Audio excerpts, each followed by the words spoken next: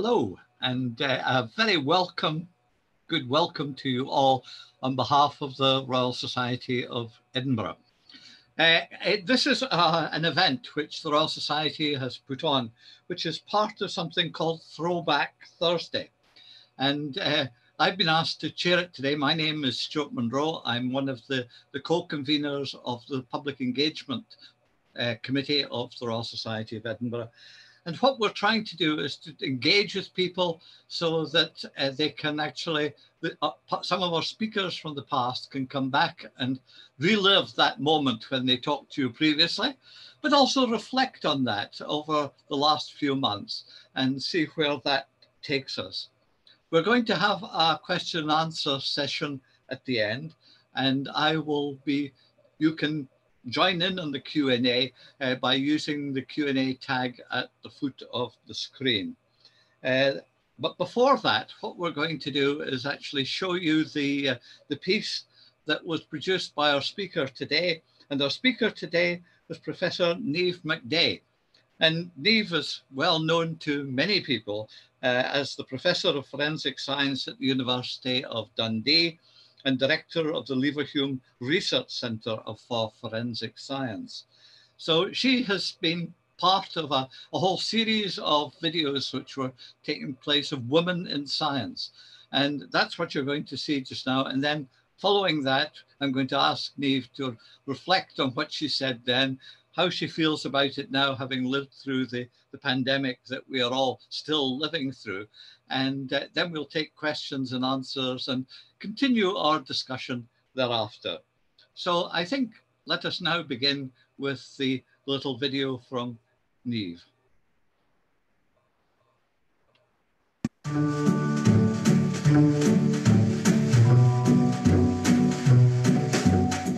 My name is Niamh Nic Daeid and I am a professor of forensic science at the University of Dundee. Uh, I'm also the director of the Leverhulme Research Centre for Forensic Science. So forensic science is a discipline of disciplines. So rather than having a single science um, underpinning the different types of evidence that we take into the courts. Forensic science is about using chemistry and biology and physics and mathematics and using the skills of each of those different sciences to solve a particular problem that um, is relative to a legal dispute or a legal question. Why does it matter? It matters because justice matters. It's as simple as that. And what we are obligated to do as scientists who contribute our skills to the criminal justice system is to bring the best science that we can to bear on the question because justice is about people's lives, it's about people's liberty. And the most important thing we can do as scientists is use our skills and our talents and our knowledge base to help put the right people behind the bars. So part of my job as a director of um, the Leverhulme Research Centre for Forensic Science is to look at not just how we use science to robustly underpin existing types of evidence like fingerprints or ballistics, but it's also about looking at the horizon and seeing what our colleagues in other areas of science are, are, are doing and see whether or not there's an aspect of new technological developments that we can use within the service of justice.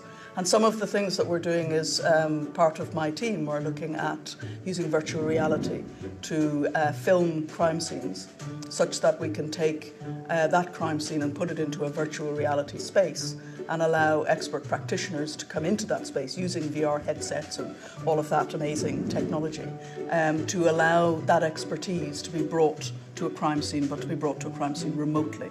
So they would, would use the VR headset and communicate with somebody on the ground. And again, it's about the, the, the use of our knowledge in the best way that we can, in, a in such a way as to promote the use of good scientific understanding of the different concepts of the natural world and try to help our colleagues out in the field. So when I was very young, um, my, both of my parents are scientists. Uh, my father was a chemist, he was an organic chemist, um, and my mother is a botanist. Um, and when I was very young, I remember some of my earliest memories are of being out in the wilds of County Kerry, which is in the south of the Republic of Ireland, um, being taken out on field trips with my mum when she was doing her PhD. And she used to teach us where to stand on these blanket bogs so that we didn't fall into bog holes.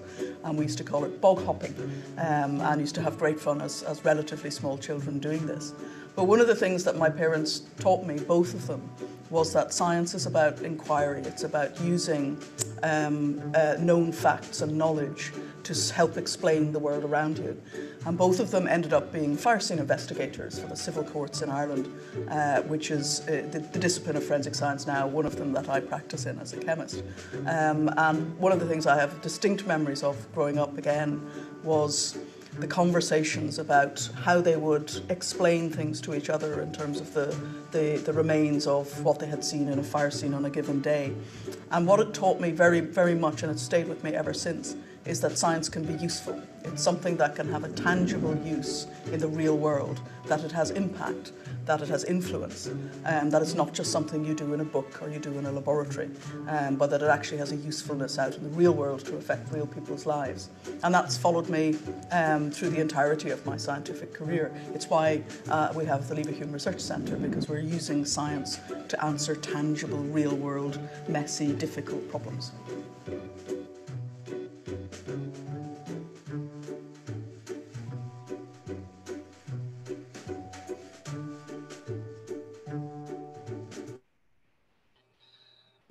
Can I welcome Niamh to this meeting and this event that we're having today? And uh, you're, you're most welcome, Niamh. And Alan, it's lovely to be here. it's lovely to have you and to have such a distinguished forensic scientist with us today because now you've got quite a reputation to live up to. Oh,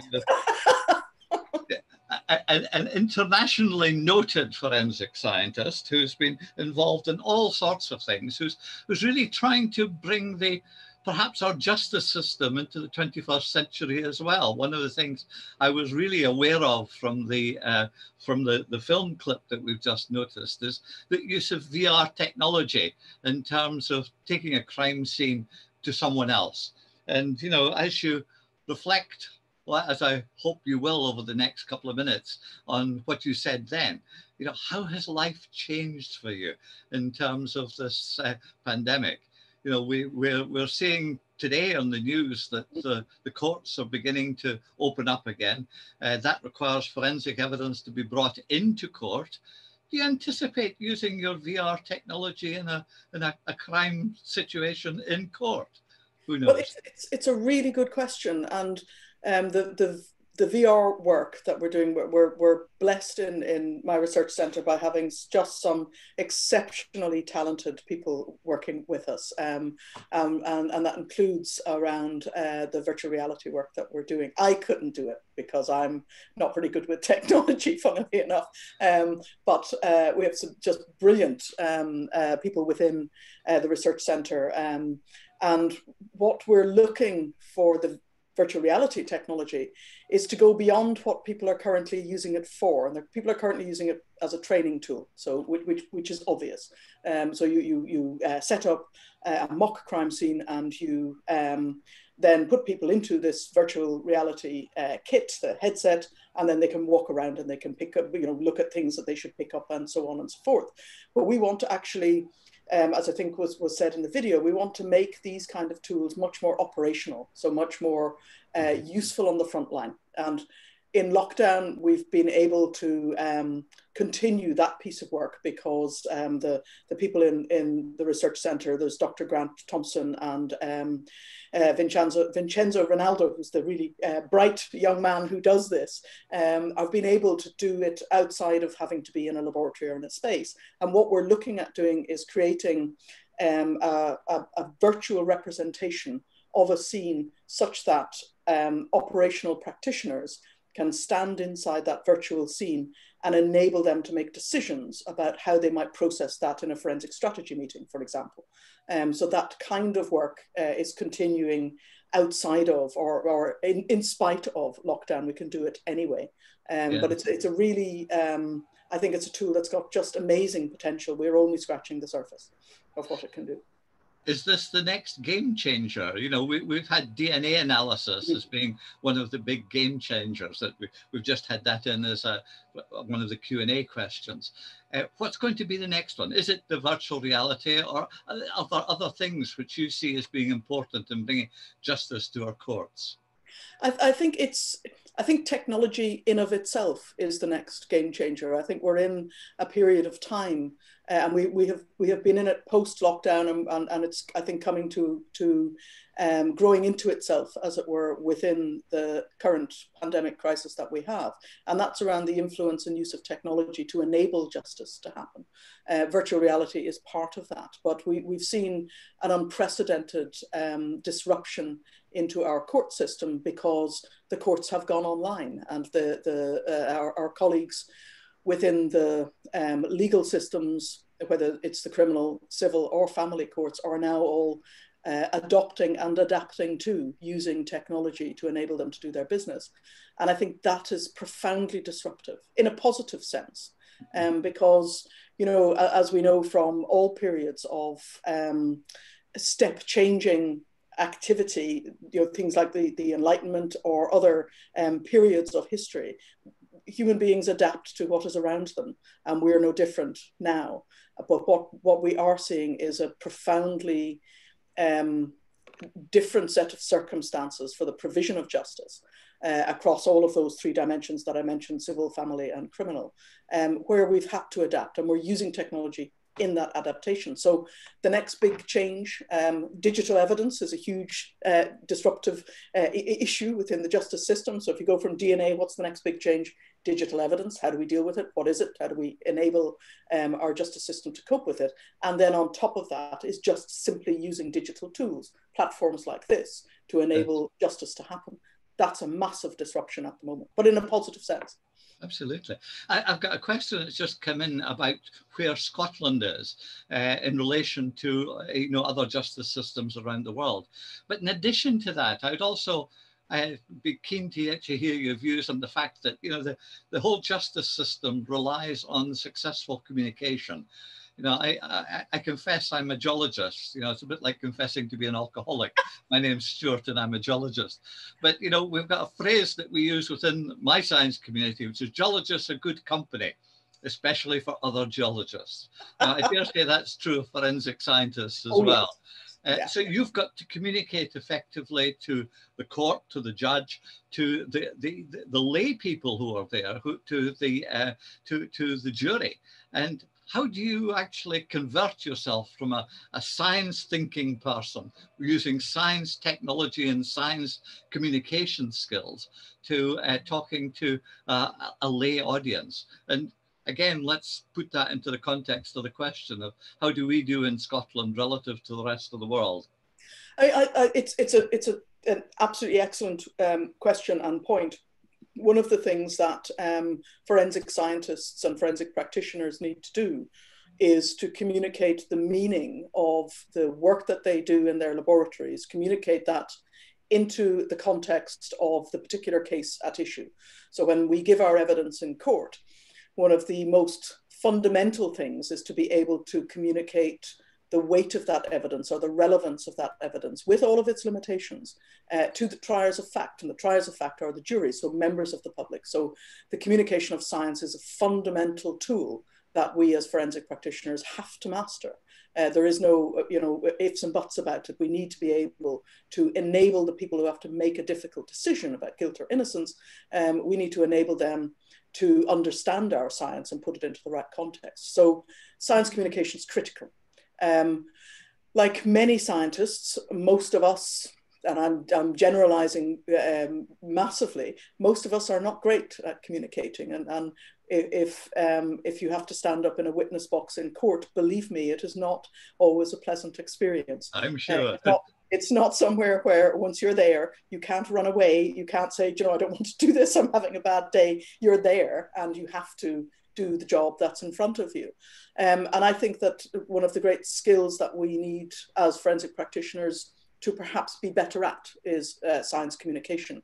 And, uh, uh, you know, there's a, there's a huge opportunity for um, uh, people within my sphere of, of existence as scientists to uh, embrace the science communication community um, and to learn from them and to work with them to enable us to communicate our scientific stories uh, mm-hmm. in terms of what, what we found within a given case, um, to enable us to communicate those scientific stories in a better way. It's not to say that we're bad at it, but scientists are or, or we're much more comfortable in, in jargon. We're much more comfortable behind that wall because it's our comfort zone.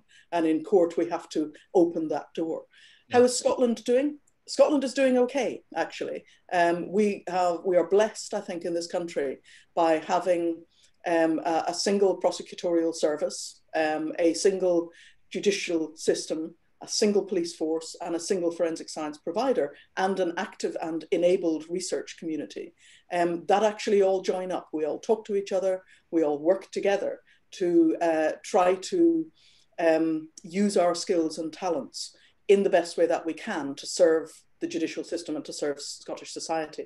Uh, we are, are um, I think, very blessed with our judicial system at the moment because um, our judiciary are very forward thinking. We, we work with them um, quite closely uh, in the same way we work with the, with the forensic laboratory and with uh, the Lord Advocate and his colleagues in the, the prosecutorial system.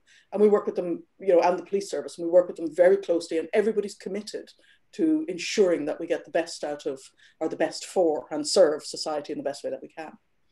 I've got a question here about the use of virtual reality and whether that can be brought to the general public as well. But I'm also aware that you've got something going which is uh, taking forensic science into the theatre. And. I'm just wondering if you can comment on that. You can do a plug for your uh, for, for your performance there. Yes, it seemed it's one of those things that seemed like a good idea at the time, um, and it is a good idea. Um, so we work with a fantastic theatre company um, called Fast Familiar, and they are um, a group that are, are are very much on the forefront of um, uh, performance theatre and um, theatre where the, the people that, that pay to go and to, to, to see their theatrical work actually become participants in that piece of work. So we have a, a play that we've just put online um, called The Evidence Chamber. Um, which has just been listed actually in the Guardian as one of the hottest tickets in town right at the moment. So yeah, get your ticket now. Um, uh, um, and what it's about is it's about um, creating a scenario which we've worked on them with, um, to which is a murder case, and enabling the members of the public who take part in this uh, play to be the jury for this particular trial. And so they're presented with forensic evidence around DNA analysis and around forensic gait analysis, so how you walk. Um, and we've uh, produced within um, our team and uh, some of our colleagues within um, the comics team at the University of Dundee. We have the only professor of comics in the UK. What a great job.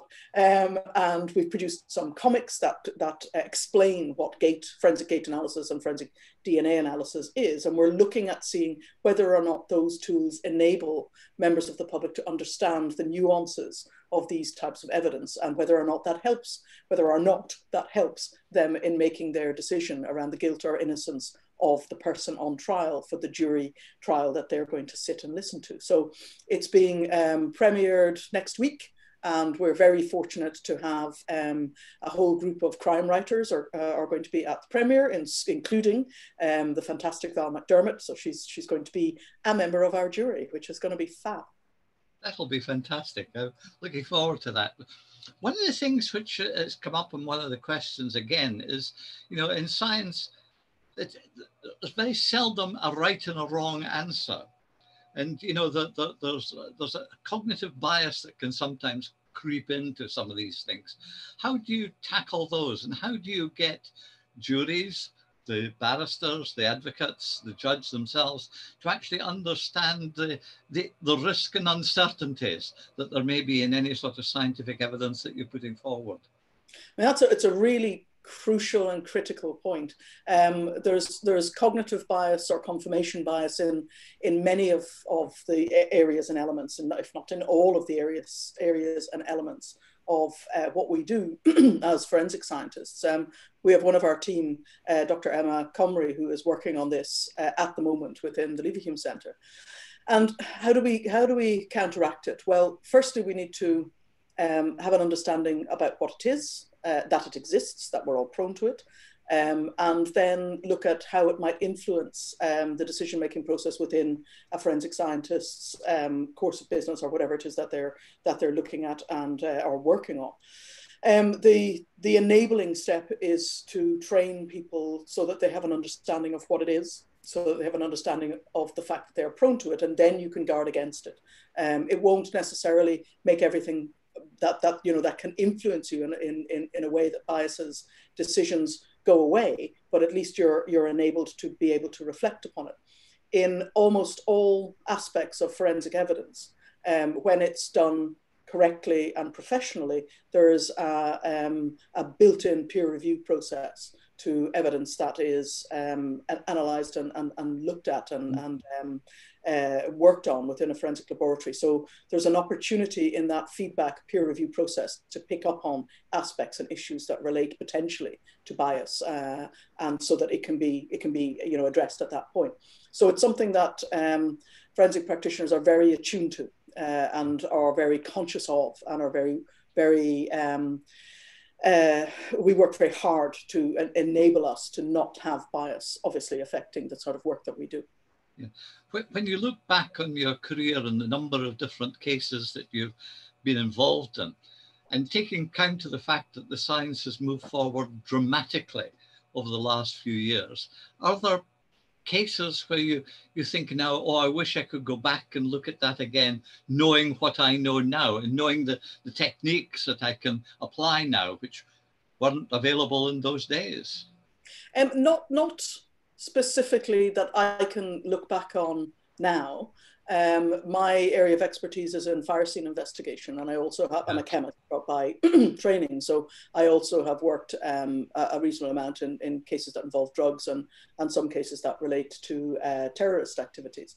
So when I reflect now and look back on casework that I've done in the past, the answer to your question is no, not, not that I can recall. And the the reason why I'm confident in saying that is because my casework has always been peer reviewed. And so it, it goes, even though I am not working directly within a forensic laboratory, the professional um, aspects of the work that I do and the work that other people in my team in, in Dundee do uh, around forensic practice is to have that peer review and have that critical checking of the work that we do. So we catch those aspects um, and we, we ensure that what we're saying in terms of reporting our uh, the outcomes of our tests that they are um, not biased in, in any way, but also that it's at the the a level of um, surety that we can be at in mm. terms of delivering the information that we can. One of the critical things about, in, in my view, about um, presenting forensic evidence within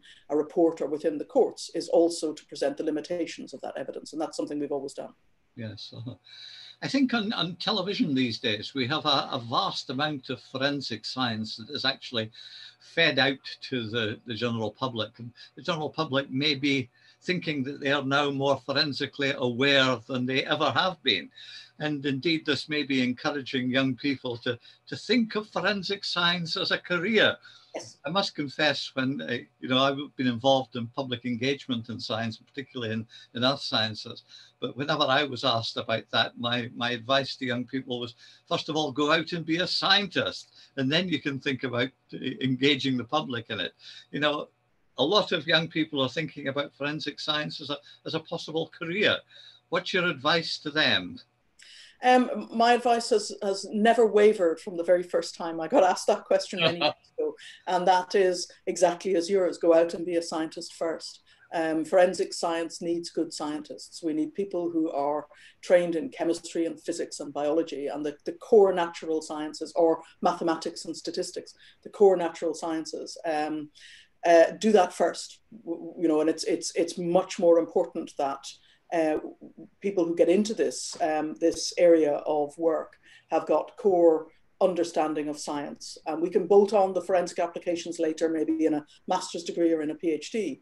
But the critical things are to understand what science is and understand the, the fundamental nature of um, scientific endeavor and inquiry. Um, and also to be a good at numbers. You need to have you need to understand statistics as one of one of the things that most people don't like to do. Um, you need to be numerate. You need to understand statistics, and you need to be a good communicator. Um, so so anything that involves science communication now is becoming even more critically important. Um, and as I said, we can bolt on all of the other forensic parts of it um, once once people progress outside of uh, an undergraduate degree in science. Um, it's it's it's a it's a it's a fundamental need within our um, discipline of disciplines um, because what we have to do as forensic practitioners is solve problems. So we need to be mm-hmm. problem solvers, and we need to be able to bring our skills as scientists or indeed engineers or mathematicians in to solve that problem.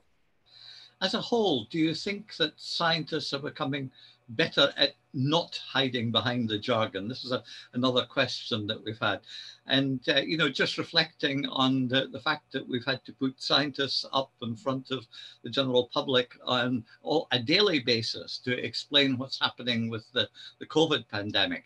Uh, are, do you, what's your reflection on that as someone who's really had to focus on that in a, in a courtroom situation? Are we getting better at it? I think we're getting less scared of it. That doesn't necessarily make us better at it. No. um, I think that, you know, at the moment, um, the role that science and scientists are playing uh, in just providing information to the public is profound and it's profoundly shifted i think um, again partly brought on by by the current uh, pandemic um, situation that we find ourselves in but it's really important that members of the public remember what science actually is and that science is not a black and white, it's not an absolute. Science is about gathering knowledge and, and using that knowledge in order to try to understand what the issue, problem, etc., is of the day and knowing that a scientific approach or following the science means that you iterate it, it shifts and it changes as we get more information and more knowledge. And forensic science is no different in that respect. So it, it's one of the most important things I think that um, as forensic scientists or scientists in general communicating information to the public is to try to get across the fact that science is an iterative process. It is not a black and white, and mm. it changes and it evolves as we get more information about the particular thing that it is that we're talking about. Um, de-jargonizing it, I think, is critical. Um, and you know, my, my hat goes off to my colleagues who are out there with um, the First Minister and indeed the Prime Minister and others in doing that. I think they're doing a great job and doing it very effectively. Yes. Your video right at the beginning was part of a whole series of videos about women in science. And there seems to be quite a lot of women in forensic science, you know, and I'm delighted to, to see that. Why is that area of activity so successful in attracting and nurturing women to rise to the top within that particular area? Gosh, that's a really good question that I really don't have the answer to. um, in, in, in terms of um, uh, women that are involved within the practice, you're absolutely right. When, when I used to um, be involved more on the front line of, of teaching forensic science at master's level, um, we would always get large cohorts of MSc students coming onto our course, the majority of which, 90% of which were, were women. Um, I don't know, maybe it's because our particular branch of science application is very applied. Maybe it's because um, it's about problem solving. Um, forensic science is about combining a whole multiplicity of aspects and skills that involve being numerate, it involves being a good scientist, it involves being a problem solver, a negotiator, a communicator. So maybe it's all of those things together that women have got significant skills in, I think. Um, that brings them into this discipline. But the answer is I don't know. There are not that many female professors of forensic science. It has got better uh, over the years, but when I got my um, professorship, I was, I think, probably, if I'm not mistaken, the first female professor of forensic science in Scotland. I was certainly the first female professor of forensic science at the university that I was at at that time. Um, and those, you know, those ceilings, those glass ceilings that we mm-hmm. put uh, across ourselves are certainly breaking down, and that has to be a good thing. Oh, indeed, yes. Uh, we're coming to the end, but I do want to put a final question to you. So, in order to answer this, I'm afraid you'll have to get out your grandmother's uh, crystal ball. I'm afraid. Oh gosh, because, like uh, really, it's you know you, are a good Irish lass, so you mm. must be able to do this. Uh, it's looking to the future. And it's looking to see where we would be in perhaps another 20 years or so. What are the technologies which you'll be applying then? Uh, what, what are the changes which you would foresee in your particular area of activity within that scope of time? Gosh, that's that's actually uh, it's quite a difficult question to answer now. Um, if you'd asked me uh, um, this time three months ago, it might have been an easier question to answer. I think that uh, where we currently are um, within the justice um, uh, scenario, the justice system, uh, we have seen profound step changes around the use of technology, um, around the embracing of technology. We were on the edge of it, but now we've had, because of the current situation that we're in, we've had to embrace it. And so I don't think that we can go back from that now. I think that we're now on a different journey and a different pathway. Um, so, what are going to be the big changes that happen within the next 20 years? Um, we're going to have a huge impact um, of things like machine learning and um, artificial intelligence. And a lot of people use those words. So, you know, artificial intelligence has been around for quite a, a, a, time. Um, I think that understanding truly what those uh, techniques and tools are and how they will be implemented within the justice space is going to be quite profound.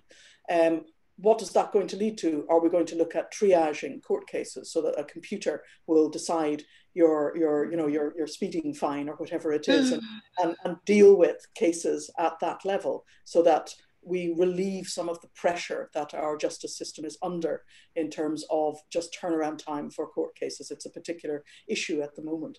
Will we have robots that are going to go out into crime scenes and collect evidence for us?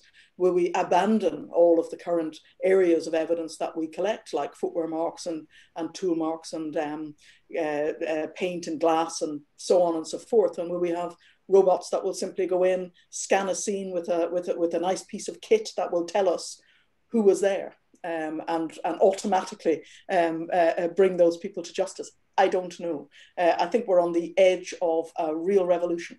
Um, and I think Scotland is so brilliantly placed to, to be the forefront of how we adapt ourselves now uh, with the tools that our society has um, to be actually at the vanguard of that and really starting to shape what happens in the future.